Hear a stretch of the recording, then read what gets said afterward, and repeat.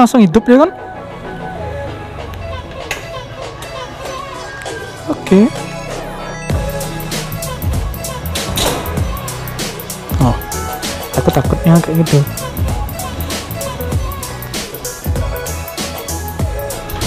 Oh yang kiri nggak mau ya?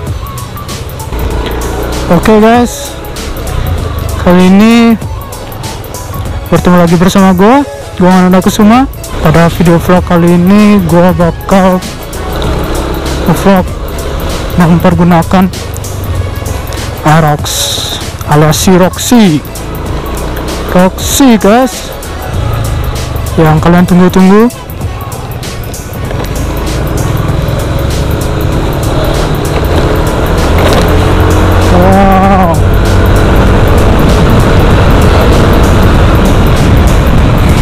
jadi kan waktu itu gua sempat nyobain uh, arak teman gua yang sistemnya belum atau masih belum tanpa kunci lah istilahnya. Jadi sekarang gua sempatin pakai Aerox teman gua yang sudah kilas guys. Sombong amat. Ya jadi di Aerox ini banyak kelebihannya guys. Dia sudah ABS yang pertama kelebihan dari Aerox teman gua yang sebelumnya gua pernah review. Yang kedua dia udah uh, smart system atau bisa dibilang kayak di Vario ISS nya ini dia smart systemnya ABS smart system habis itu keyless. Nah kalau teman gua waktu kemarin kan pakai kunci guys. Yang ini udah sistemnya keyless wah pak mana sih matanya pak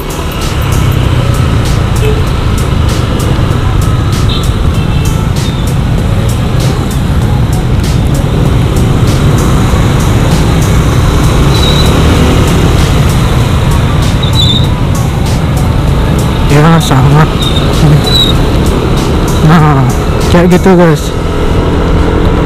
Jadi di Aerox ini udah tenaganya juga ada 155 cc lebih besar dari tenaga NMAX nah larinya pun enak guys. Jadi kalau kita lagi pakai Aerox nih rasanya feelnya untuk sportinya tuh dapat guys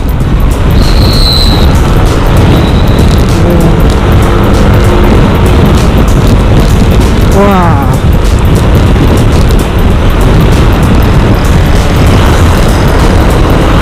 Nah, cuman Aerox teman gua nih yang punyanya Made yang gua pinjam dia udah melakukan beberapa perubahan. Cuman untuk sektor-sektor mesin sih masih original guys biar kalian tahu. Ini mesin Aerox masih original. Cuman dia ngembang beberapa sektor aja kayak mungkin soknya diganti dengan KTC tak bakal gua liatin lebih review lebih jelas lagi kayak gimana. Habis itu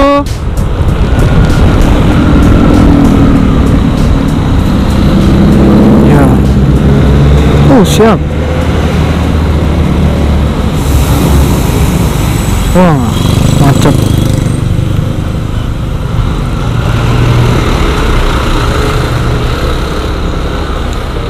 Ya, di sini macet, guys.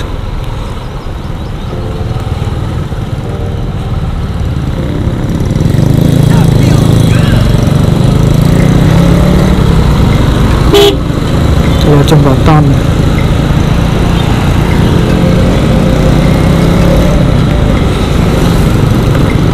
Oke, kita lanjut ya, guys. Dari sisi sa udah diganti dengan KTC. Habis itu hand grip juga udah diganti. Hand gripnya jadi lebih uh, serasa kokoh guys. Enak lah bisa untuk digenggam untuk ini. Habis itu windshield juga udah diganti. Windshieldnya habis itu untuk spionnya juga udah diganti pakai spion jalu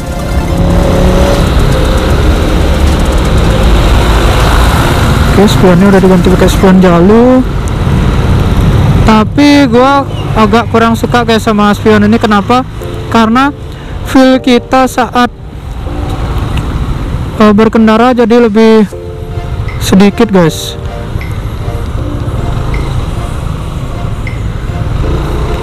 jadi untuk melihat itu feelnya lebih sedikit ke belakang jadi kita ngelihat pengguna motor yang di belakang itu jadi lebih kurang pandangannya itu. Handle rim juga udah diganti mungkin mereknya Red It kalau nggak salah. Ya.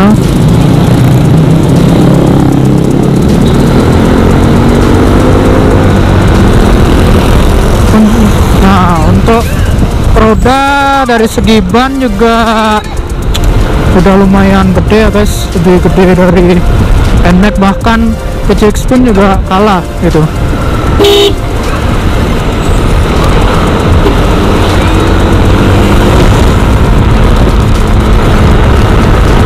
Untuk tenaganya gue akui Aerox memang enak guys.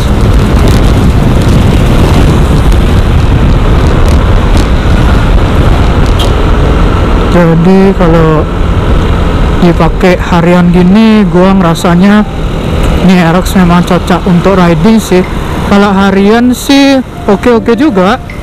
Cuman lebih cocok untuk riding sih.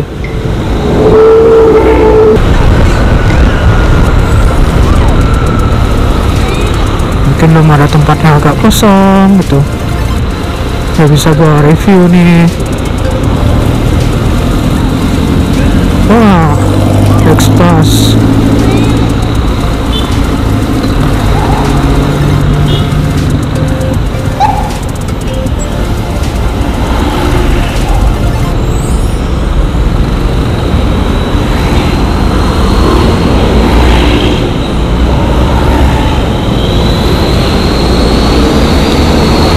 Agatsu nih guys.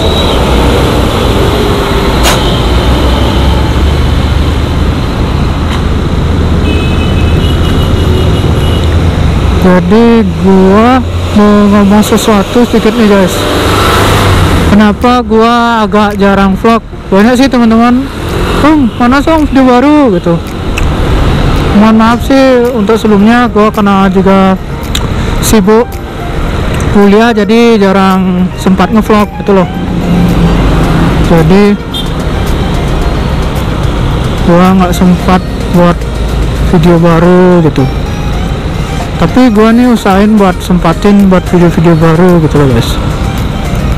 Nah ini ada tempat nih kebetulan guys. Kita review aja Aeroxnya di sini. Ada tempat. Nah, bakal gue liatin yang mana aja nah yang tadi gua bilang oke. Nah ini yang diganti teman-teman gua hand gripnya. Spion jalu. Ini eh, bagian pengereman oke guys lampunya udah ditambahin alis ya. Nah nih. Sistem pengirimannya udah ABS yang versi SS nya selanjutnya untuk bagian ini udah dirombak teman gua bagian soknya udah pakai KTC di- eh, kanan kiri habis itu lampu belakangnya udah diganti. Ini karbonan guys. Ini karbonan. Tambahan hazard dan ini spakbor juga udah dipotong guys. Bukan originalnya lagi. Cek lihat. Ini juga di karbon. Dan sistemnya keyless. Yang lain sih masih standar untuk Aerox ini. Aerox nya masih standar. Tapi ini ditambahin windshield supaya lebih oke mungkin segitu dulu. Jadi gua bakal uh, pakai Aerox balik ke lanjut lagi.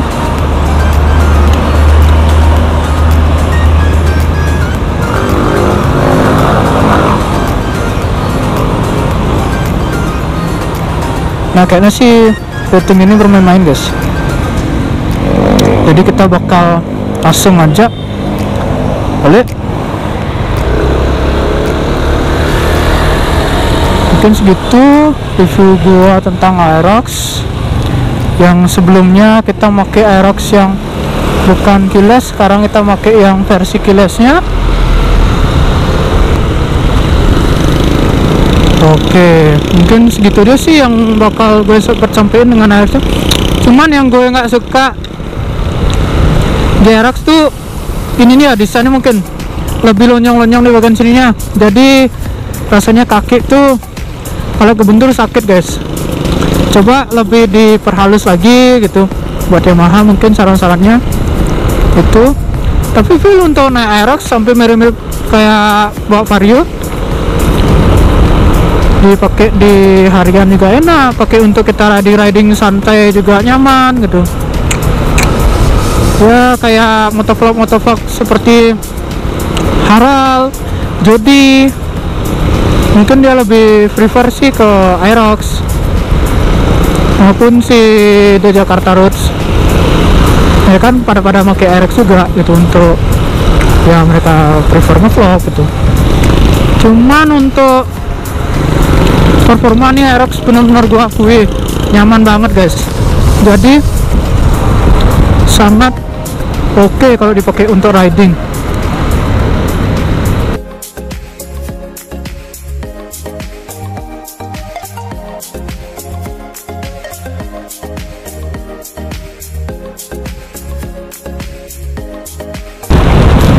Jadi kalau jalan agak rusak tuh nggak terasa di Aerox nih. Kalau di Vario wah keras sekali guys. Kalau di Aerox tuh sangat minim lah bisa dibilang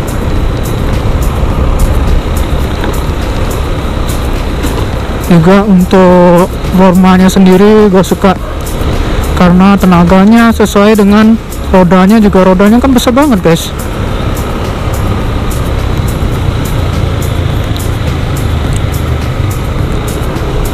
Selain itu juga nih Aerox. Udah ABS cuman gue sayangin kenapa sih Yamaha nggak mau buatin nih istilahnya cakram belakang gitu loh. Kan lebih galak gitu kayak atau lebih ganteng lah istilahnya kayak NMAX itu kan depan belakang cakram gitu. Kenapa di belakangnya oh, masih pakai trommel gitu? Mungkin alasannya ya cuma Yamaha yang tahu gitu. Untuk menghemat pengeluaran mungkin. Tapi Aerox kalau pakai uh, cakram belakang mungkin lebih ganteng guys. Apalagi ini model-model kayak motor-motor sport gitu loh udah tinggal dicabut aja spakbar belakangnya udah kayak ninja kelihatan dari belakang. Padahal tadi gua rencananya sih ngevlog bareng temen gua guys. Cuman temen gua bilang gua pinjam ya RX lu gitu. Cuman ya oh oke okay lah pakai aja gitu. Ya wes gue pakai gitu.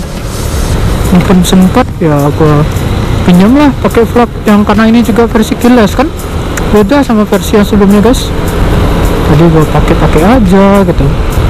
Karena ada kesempatan.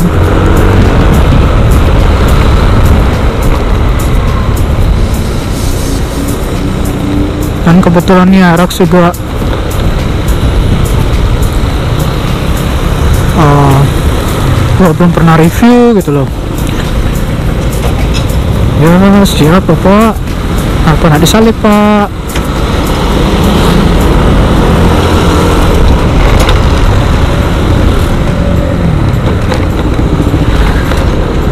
Wah, ya setengah empat guys. Jadi sore-sore gini gua review Aerox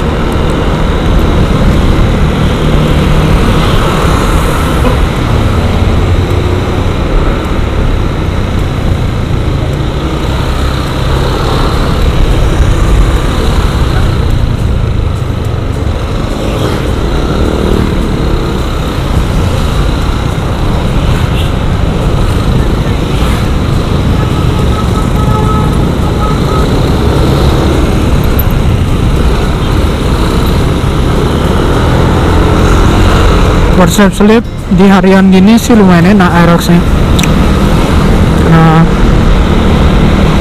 walaupun sih motornya agak besar ya guys. Beda sama motor-motor kayak Vario gitu. Cuman feelnya enak sekali guys.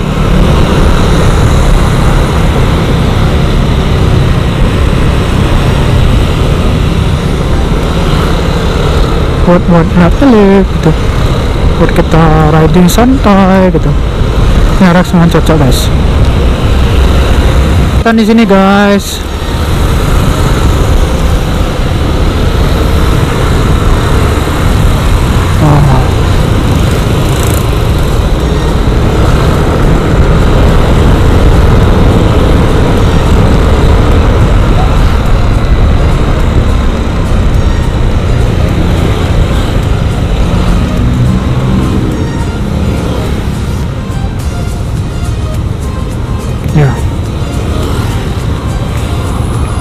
kayak gini aja sih lompatannya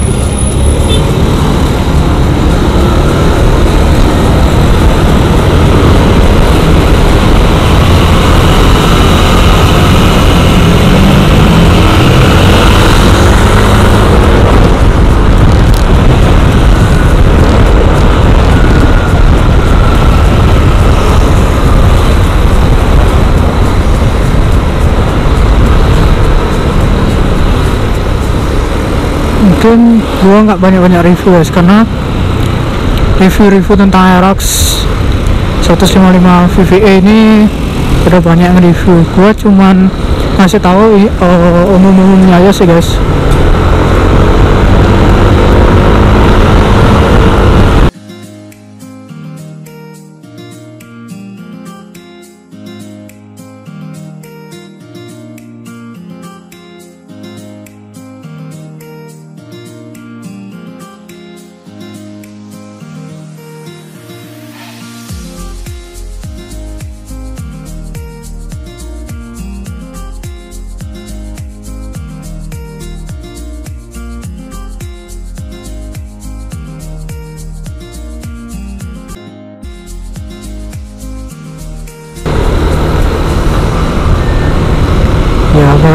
mungkin segitu dulu video gua guys. Jadi kalau kalian suka sama video ini bisa kalian like. Jadi kalau kalian nggak suka sama video ini bisa kalian dislike. Jadi kalian jangan lupa kalau komen di kolom komentar. Share momen-momen atau apa yang ingin gua review selanjutnya. Jangan lupa guys subscribe juga. Karena channel gua ini kalau kalian nggak subscribe nggak bakal gua bisa upload lagi guys. Ingat subscribe guys yang terpenting guys subscribe jadi gue bakal balik dan kembali nih motor ke tuan rumahnya.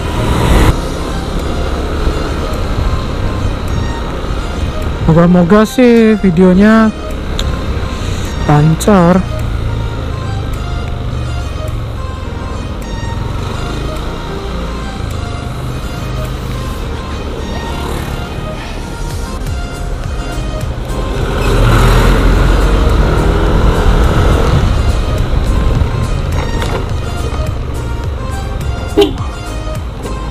Oke guys, berjumpa lagi. See you and peace.